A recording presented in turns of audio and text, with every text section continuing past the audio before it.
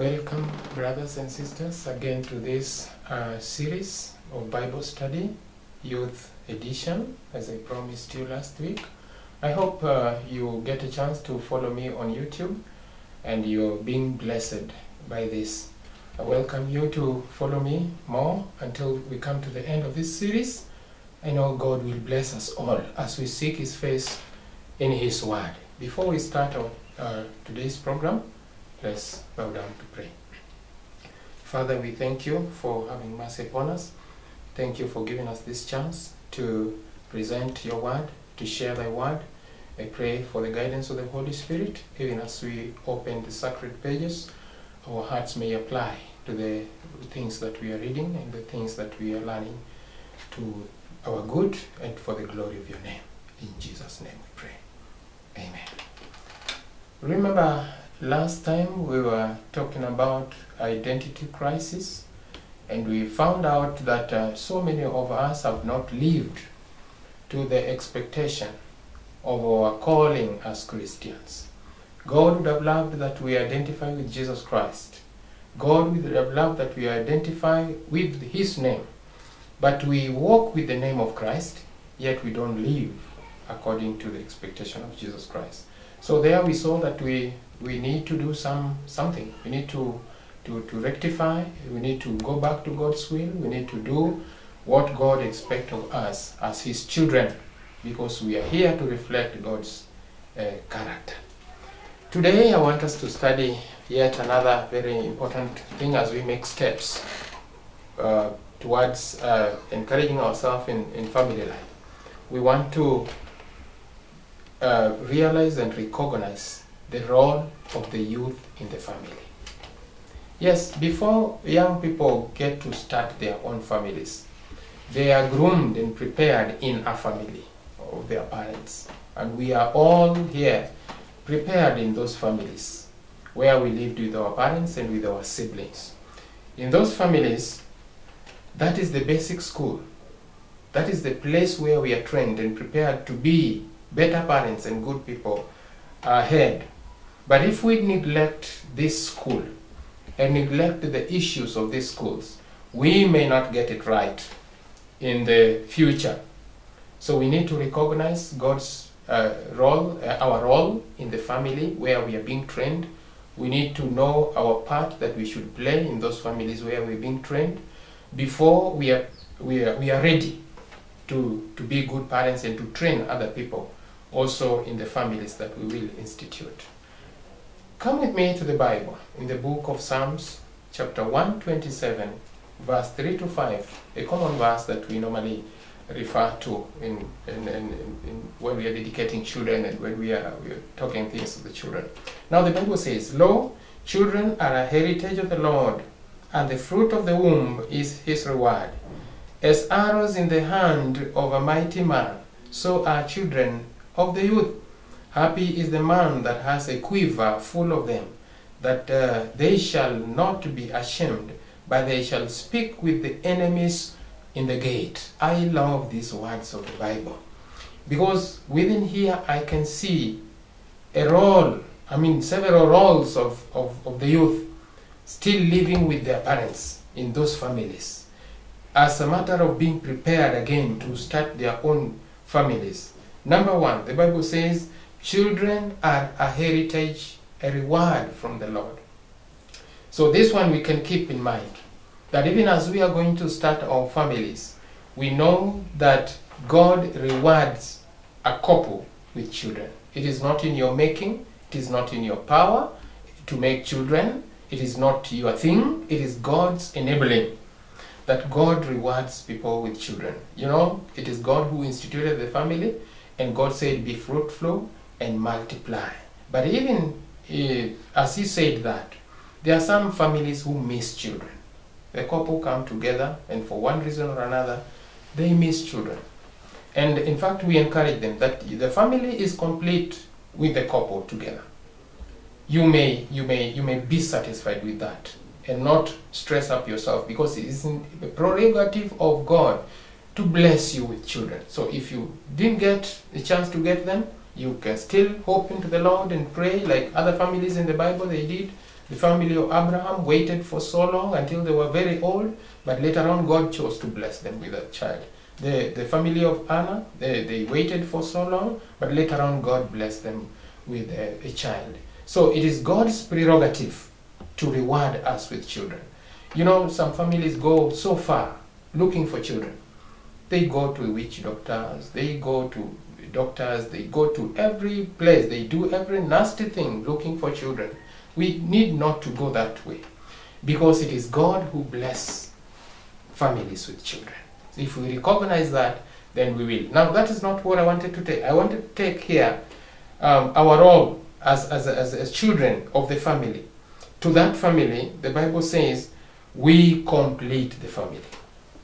We complete the family. I can be happy and I can be joyous that uh, God chose to have me be born in that family to complete that family. Because for sure a family that does not have children is so we pass through a lot, of frustrations we pass through uh, a lot of trouble. We feel we are we, we are downtrodden we feel we are not uh, fulfilling our purposes as human beings it is true because if the desire to have children is within every woman and within every man until they will hold their own child and nurse it that is when they will be satisfied that they are uh, a human a complete human being. Until a father hold his son uh, his child that is when now he is satisfied that he has he has completed his purpose as a, as a man. Now uh, that joy that completeness of that family is what you have fulfilled as a youth and as a child in that home so without you they should have been frustrated so uh, it is for me to know that I have fulfilled the completeness of this family, so I have a greater responsibility and greater purposes in this life. So this is one of our major roles in, in the family. Number two, which I am getting here, is that happy is the man that have a quiver, has many children. Happy is the man. So we also complete the joy of the family as we are there. It is unfortunate that some parents have been broken-hearted by their own children which God rewarded them with. Broken-hearted. Some children and some youth here have frustrated their parents, have broken their heart and have lived in a way that the parents have not been happy for getting children. It is very unfortunate. But here the Bible says, if our parents, if we would have lived according to our expectation as children of those parents, they would have been happy with us and happy for us to, to be with them. So uh, I encourage the youth to know today that you are expected to be the joy of your parents. The joy of your parents. And the parents who, who always think of you and will always want to do everything for you and will always rejoice because of your presence. Even if they send you to school, they will be joyous and they will be thinking and praying for you because they know they have a child who has a future. Some, some youth have disappointed their parents. It's very unfortunate. This is not God's will uh, for us. Number three, which I see in this verse that we have just read, that happy is the man that has a quiver of them all. They shall not be ashamed, because they shall speak with the enemy in the gates. Ah, we are a security to the home when we are there. God expects that when we are children in that family, before we go to start our own families, we provide security. The Bible may be talking about literal security because it's talking about uh, speaking with the enemy at the gate. It's talking about um, uh, defending the home. This is this is uh, against. Well, nowadays we, we, are fearful about Al Shabaabs. Eh? So they are defending the Al Shabaabs from coming to the home. They are defending the thieves from coming to the home. There's a literal security uh, purpose that we would have filled as young men or as young ladies in the home. But again, you know, today we are talking about other forms of security. We are talking about social security. We are talking about financial security. And you know, there are so many people who are maybe blessed to have their own jobs and are earning before they start their own families. You are expected to provide financial family uh, security to the home.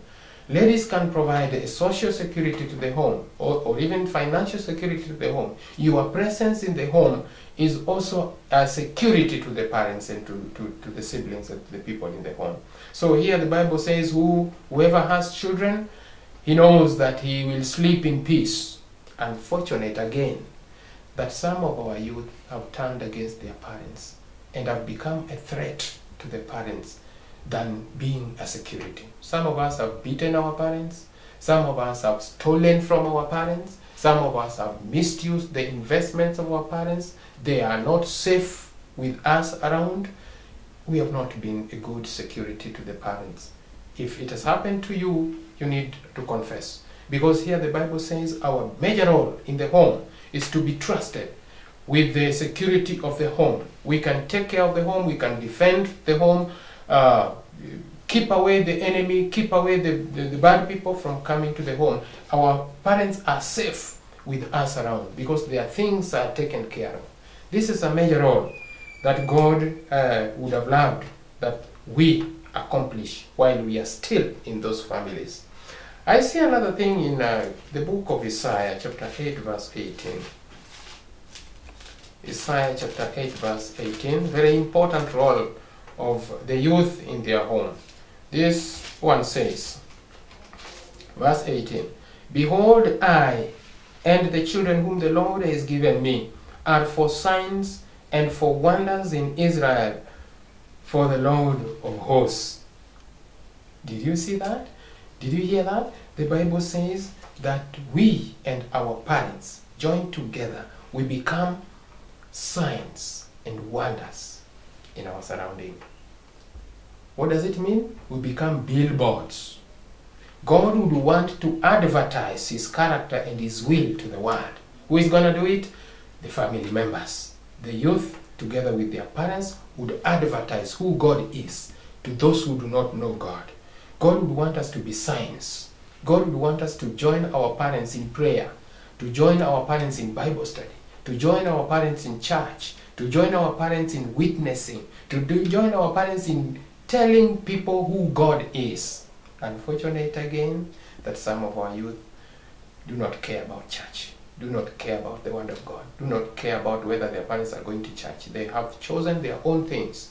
They have gone astray and gone far from the Word of God, not caring. They say church is for older people, church is for parents, or praying is for parents, pray or going to preach is for parents. They don't want to take part in this. Isaiah is saying, I and my children would be for signs and wonders in Israel.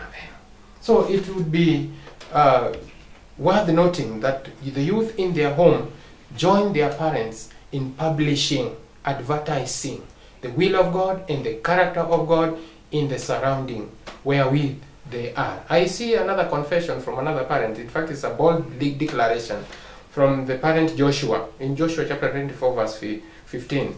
Hey, let me refer to that. Joshua chapter 24, verses uh, 15. Joshua says this as he makes this declaration.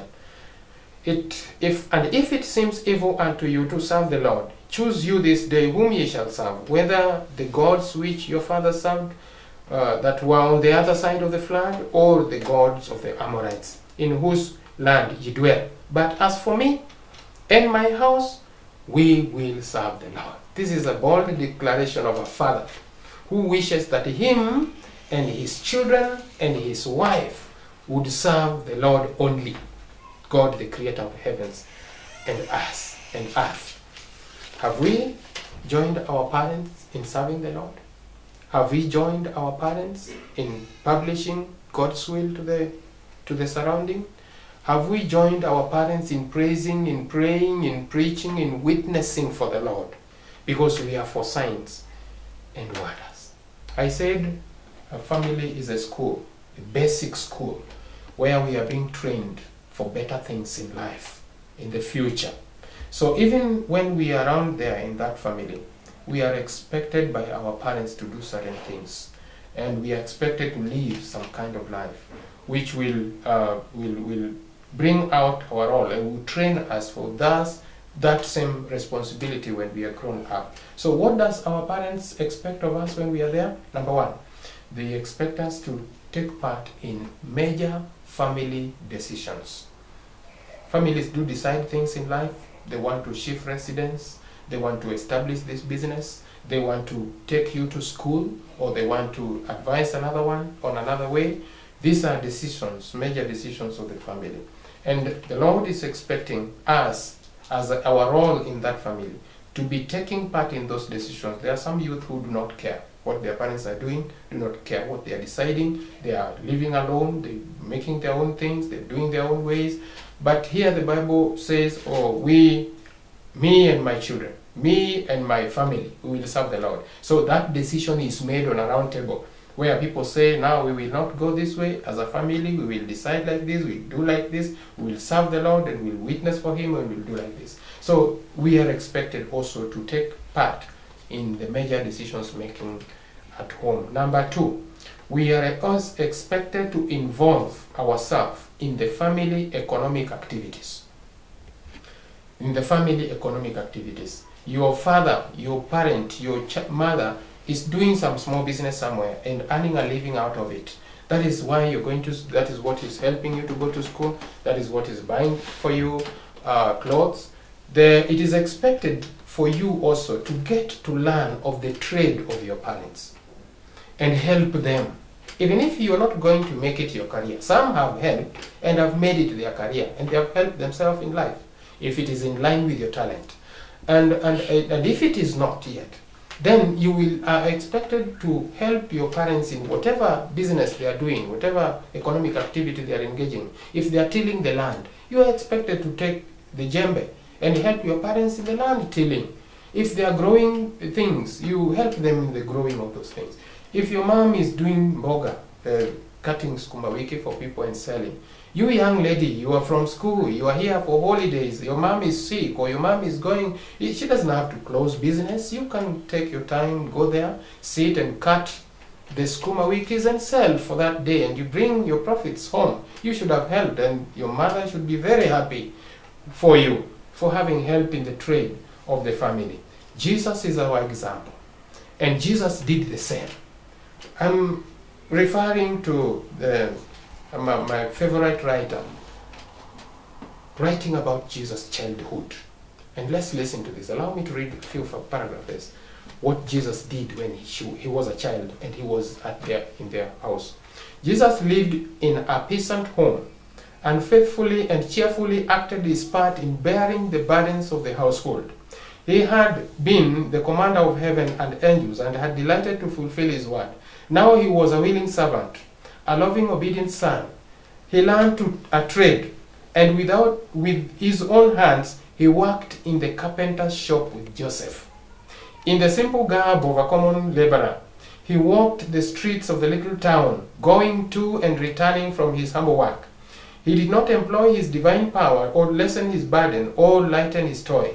As Jesus worked in childhood and youth, mind and body were developed. He did not use his physical powers recklessly, but in such a way as to keep them in health that he might do the best work in every line.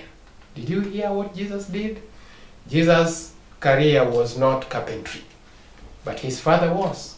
Now, what he did, he chose to work with his father in the carpentry shop. They were making seats, they were making stools, they were making beds, and he used to go to the market to fetch nails and to fetch um, uh, wood for his father. He went to and fro, he used that plane, he did to fix things, he did help their home.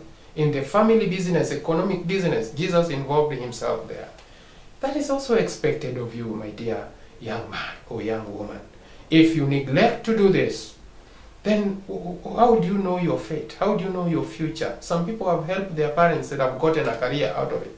And I'm, I know I know of some people who have been able to manage their family businesses after the demises of their own parents. You know, sometimes your parents are doing some business there, have a shop somewhere, they are managing, you never care to go there, but now they are dead abruptly, and you need to manage that shop or that business so that it can help you in life. So many people have brought down those businesses, brought down their family economic uh, investments just because they didn't care to want to know what their parents are doing and what they are passing through or what they are, they are doing for, for, the, for the family.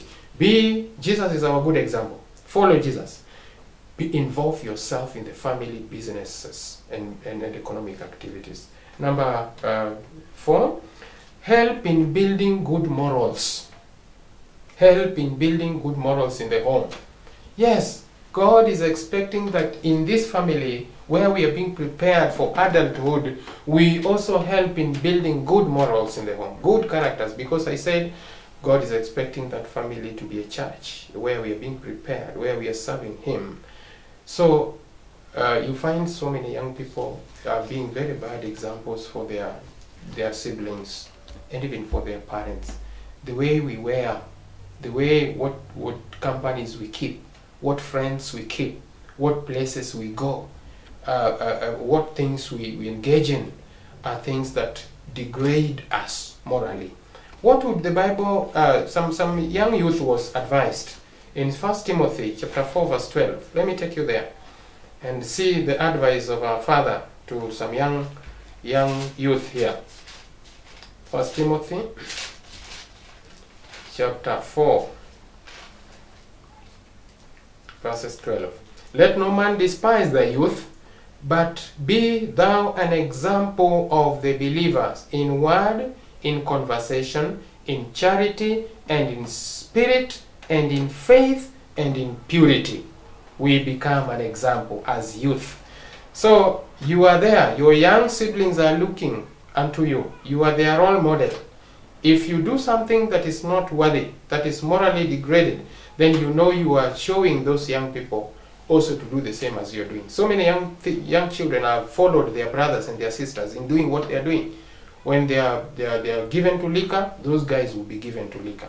When they keep bad companies, those guys will keep bad companies. When when they wear badly, you, you wear uh, wrong clothes, those guys for sure will wear those wrong clothes. So the Bible says, in purity, in faith, in conversation, in charity, we be good examples. We help in the family to build good morals. It is our responsibility and our role in the family. If we neglect that, uh, the way many of us have neglected, then we fail to be prepared to become good people in the future as good parents. You well know that here, even in the church, there are so many parents who have not been good examples to their children.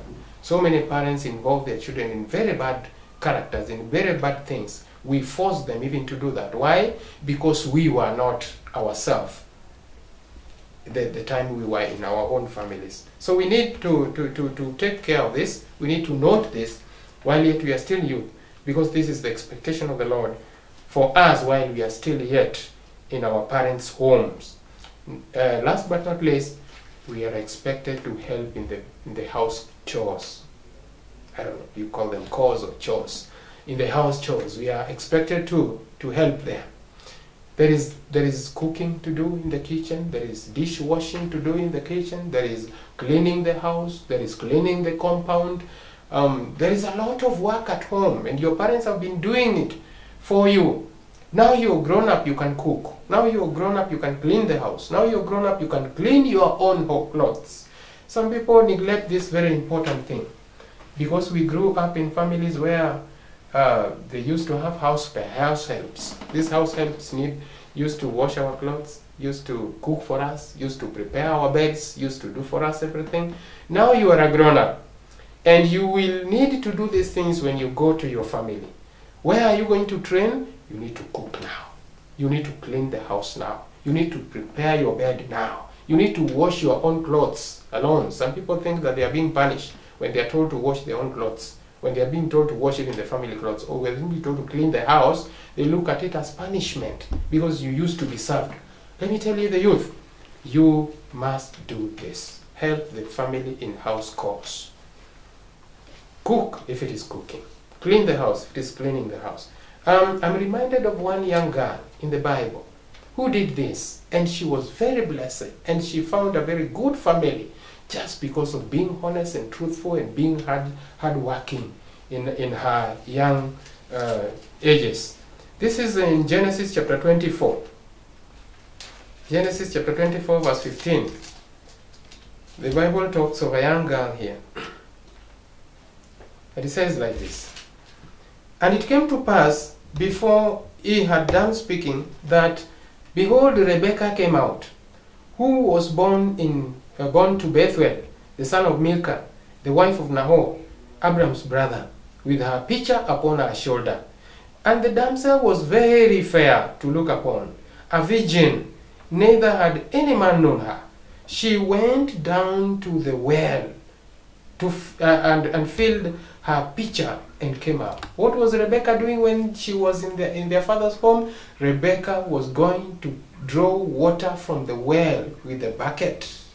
And she did not complain about it. She did not look at it as punishment. That was her work. Do you think she was only drawing water to bring home? No, Rebecca was drawing water to feed the camels. You people, you know how camels, how much water a camel, one camel would drink to fill that mom on, on, on his shoulder. Now, a, a young lady is going to the well to feed, I mean, to, to, to, to drink, to give camels water to drink. The Bible continues to say that she did it several times. That is verse uh, 19. And when she had done giving drink, giving him drink, she said, I will draw water for the camels also until they have done drinking. And she hasted and emptied her pitcher into the trough and ran again into the well to draw water and drew for all her camels. Good. This is a very young lady. Do you know what happened to her? That very moment she was drawing water, somebody was sent to pick her. And somebody was sent to look for a woman for some Isaac somewhere, his master's, uh, his master's uh, uh son. So Rebecca, by just doing this, found favor in the sight of God and was able to find for herself a good husband from the Lord and able to establish a good family. She did not have to trouble herself to look for people to help him because she already knew how to draw water to feed the camels. She already knew how to feed the family, to cook the, for the family. So this one encourages us, young girls and young men, when you are in your own houses before, when you are in your father's houses, before you go to establish your own home, please help in the house chores and let your parents' back be eased. Let them say, let them say, the, I, I, I have a son or I have a daughter who cares and who can ease my burden a little bit. Don't let your parents struggle in sweat and in all toiling for you and you're sitting down. It is not very good for us to do that. Are there bad examples in the Bible? Yes, there are bad examples of those people who did not recognize uh, their role in the home and in the family and, and who did not join their parents in praising God and their fate is not very bad. I want to give you a few of them. One of them is Cain in Genesis chapter 4, verse 5 and 6. Cain did not regard the voice of God. Cain did not regard the teachings of the church, which their parents uh, taught them when they were still young. And being disobedient, he went, he went and and and and, and uh, sorry about that. He went and uh, killed his his, his, uh, his brother. Cain killing his brother, that was very unfortunate. Why did he kill his brother? Because he was jealous. God was talking to him and told him, Cain, if you did good, then your, your, your countenance would have shined up. But if you did bad, that's why you're frowning. Why are you frowning? It is because you did bad. Cain did not regard God's word and did not regard the teaching he got in church, and that's why he went the way he went. Another one is Amnon. This Amnon uh, entertained idleness at home and entertained uh, the lust of the flesh so that he masqueraded as being sick. That is in, in you get it in 2 Samuel chapter 13 verse 6 until that Amnon requested from his father that his sister come and assist him in the bedroom, his bedroom. Then when the sister Tamar came to prepare for him food and to give him, he, he raped he, he raped that, that girl, that young girl. That was very unfortunate. Why? Because he was entertaining evil thoughts. He was entertaining lust of the flesh. You remember the first time we were learning about three things in the world? Lust of the flesh, lust of the eye, and the pride of life. So one of them, Amnon entertained entertain the lust of the flesh. Like the youth of today, you would want to go to the internet to watch pornography, and uh, there's a lot of idleness. You don't want to engage yourself in the family cause. And now, this entertaining these bad things will get you somewhere. Look, this young brother raping his own sister at home. He broke the heart of the parents, broke the heart of his sister, broke the heart of the family as a whole, and he did not did it good. Did not do it good. Why? Because he disregarded the counsel of the God and counsel of his own parents. Another one is Samson. Samson in chapter 14 of Judges, verse 1 to 3 says Samson went to Timnah and found a lady there and, and, and went into her and, and picked her to bring her home for wife. His father, in that verse, his father says, cautioned him, Father, uh, Samson, you know, you are all you know you are called, you know you are a Nazarite, you know you're not supposed to marry from the Philistines. How then do you tell me to go marry for you a child from Philistines? And he insisted, he said, because he relied on his own knowledge, he insisted, he said, Father, it is him, is that one who is placing for me. Then the parents did not have anything to do. They allowed him. When you go to chapter 16 of Judges, Samson made it a habit of sleeping with women from Philistine. Any woman, any harlot, anybody that came around, Samson was sleeping with them, given to fornication. Samson did not regard the word of God, did not acknowledge his call, did not listen to the parents, and did not care to do the things which would build him spiritually and, and, and enable him to accomplish his mission. So Samson is a very bad example in that, that manner, and he was given to this one, and his death and his end came from these women that he was given unto. Are there good examples of, in the Bible? Yes, there are good examples which we can emulate. Uh, there is uh, Samuel. Samuel, you remember Samuel, when he was born, he was taken to church and he helped the pastors in church, he helped the church businesses and things that were going on in church, and he learned there, and he became also a pastor himself later on in life because he regarded the word of God, he regarded the things of the church. There is David. David, when he was born, David was taking care of the sheep of his father and the livestock of his father in the wilderness. He didn't complain about it.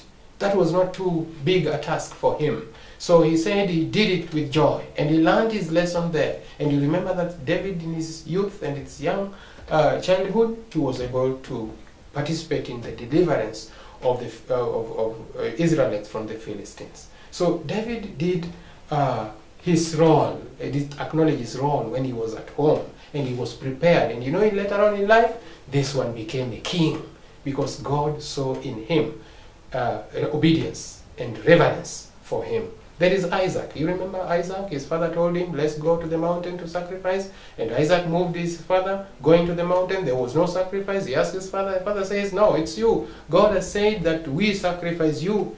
And because Isaac learned to join his parents in praying and praising God, he did not have a voice to decline the commandment from the Lord. Isaac simply laid on the altar and was, was ready to be sacrificed. I don't know how many youth are ready to go that far with their parents just because they have fear for the Lord. So Isaac was about to be sacrificed and he agreed until God provided another sacrifice. There are good examples, there are bad examples in the Bible we can follow and we can know what God's will is for us. Now, I know you asked me a question, as even as we come to the conclusion of this. How do we achieve this? How do we get there? Because we are surrounded with so many influences, we are surrounded with so many things. How do we get to accomplish this? I tell you, that question is asked in the Bible, and the answer is provided immediately. In Psalms chapter 119, verse 9, is a verse that we normally we are used to referring to, but it has a good answer. Verse 9, Psalms 119, verse 9. Wherewithal shall a young man cleanse his way? By taking heed thereunto according to thy word. That is the answer. Young people, taking heed according to the word of God. Taking heed according to the counsel of God. That is the only way to make it. The Bible says in Proverbs chapter 3, verses 5 and 6 Trust in the Lord with all your heart, and lean not unto thy own understanding. In all thy ways acknowledge him, and he shall direct thy paths. Be not wise in your own eyes. Fear the Lord and depart from evil. You remember I told you about Samson.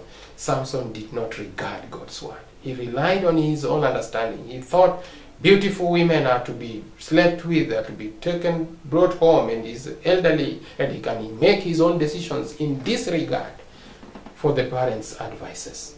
So here the Bible says, lie not in your own understanding. I know so many youth are going to school in the higher um, institutions of learning and you have collected a lot of knowledge and a lot of things and you know a lot and you have googled a lot and you know so many things in life but that one does not put you higher above the word of god the word of god is still supreme the counsel of god is still supreme and it's still final for our life if we would take heed to the word of god and rely not in our own understanding then we would have made it in life things would be very good so i i admonish you i encourage you not to leave everything else behind and take the word of God for your life.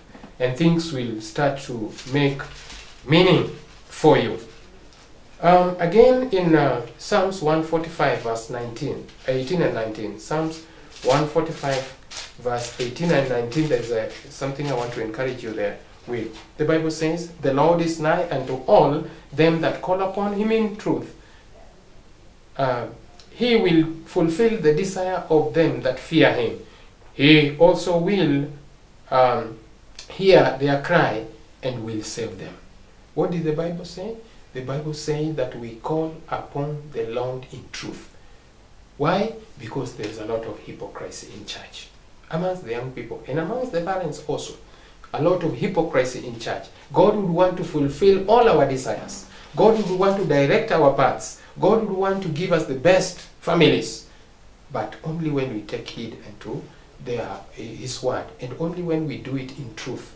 We don't go to church and again live another kind of life when they're back at home. You're doing your own things, you're going your own ways, you're going contrary to what things you're learning in church. We don't want to do that. Because the Bible says if you call upon Him in truth, He will fulfill the desires of your heart. There is several admonitions, several uh, ways of doing it, of uh, managing, achieving that goal that we have just said. Last but not least, let me refer you to Isaiah chapter 40, verse 28. Isaiah chapter 40, verse 28, and it says this Hast thou not known? Hast thou not heard that he everlasting God, the Lord God, the creator of the ends of the earth, fainteth not, neither is weary. There is no searching of his understanding. He giveth power to the faint, and to them that have no might he increaseth strength. Even to the youth, even the youth shall faint and be weary, and the young men shall utterly fall. But the, they that wait upon the Lord shall renew their strength. They shall mount up with wings as eagles, and they shall run and not be weary, and they shall walk and not faint. Now, what kind of youth do faint and do get weary? Those who do not wait upon the Lord. The Bible says they will grow weary and they will faint. But those who wait upon the Lord, the Bible says, He will give them strength like David. He will give them strength. They will mount up with wings like eagles. So, youth, when we engage ourselves in, in those spirits, uh, taking those spirits and, and, and, and, uh, and liquors, and when we engage ourselves in taking drugs and, and, and uh, bangi, we, we will grow old faster and we'll die away and we'll faint still young. That is not what God is wanting us to do, the way God wants us to go. God would want us to be strong people, doing His will, encouraging people, and ministering uh, His word to people while we are still uh, strong, while we are still young. Say He will renew our strength. And surely you see in church there are so many people who they are old in age, but they are young in stature. Why? Because they have learned to trust in God and to take care of their life. It is said of Jesus Christ in Luke chapter 2, verse 2, that he grew up in favor, uh, he grew in stature, and he grew in favor with God and with man. Why? Because he learned all these things that we have put together today from the Bible. I encourage you, young people, to follow God's word. You can make it. You can surely make it. If you regard the counsel of God, if you regard the word of God in your life, the future is so bright. Your family will be successful. Your future will be so blessed because the Lord has promised it. The word of God has said it. May God bless you. Thank you for following me again next week as we get to study uh, the reason to marry. God bless you. Let's finish this with a prayer. Father, we thank you for enabling us to do this Bible study and to learn what you expect of us while yet we are still living with our parents. As young youth, sometimes we have gone astray and we have done that which does not glorify you. We confess and we pray that you enable us to stand up again and to walk in thy will and to do that which is pleasing before thy sight. Help us again in the next program as we continue to present this for the sake of the people that they may be encouraged. In this we pray in Jesus' name. Amen.